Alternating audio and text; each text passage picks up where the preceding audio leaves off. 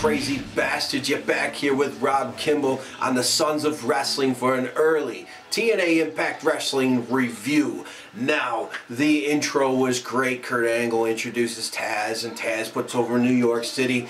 And uh, then you have New Bully Ray and Tommy Dreamer in New York City. It's a hands down win. And um, good stuff. We do end up getting EC3 and Rhino with Rockstar Spud coming down for distraction, easy roll up, heel pin. That's just the way it goes. It's okay, guys, because you know there's going to be more coming from Bully because he has a promise he's going to keep it. So cannot wait for that. What do you guys think? Is that going to happen tonight? Will time will Bully Ray hit Dixie Carter through a table? Get the tables. Let me know. And, uh, well, just finishing up this X Division match. Holy shit, great stuff. When DJ Z and Manik were in there, too bad they got eliminated so quick. It was excellent stuff.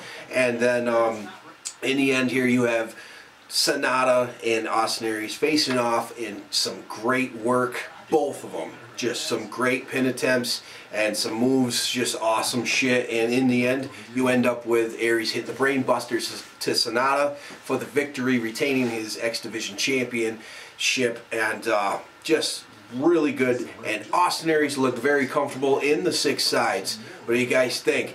All those tweets that he had saying that he didn't want the six sides, this and that. He looked very fucking comfortable in there, and I think he enjoyed being in more space.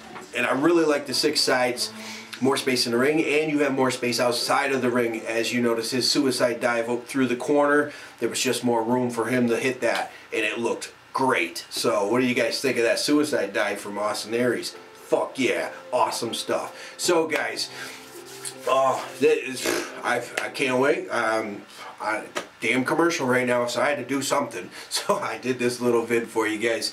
And uh, well, keep following along and comment below what do you guys think. Six sides, Dixie Carter going through a table.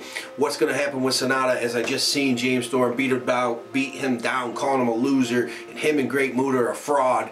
And uh, he's getting in his head, and it looks like James Storm's going to take him under his wing eventually because he's just going to have that control over him on who he can trust, this and that. Sanada's just going to snap on the Great Muta or something.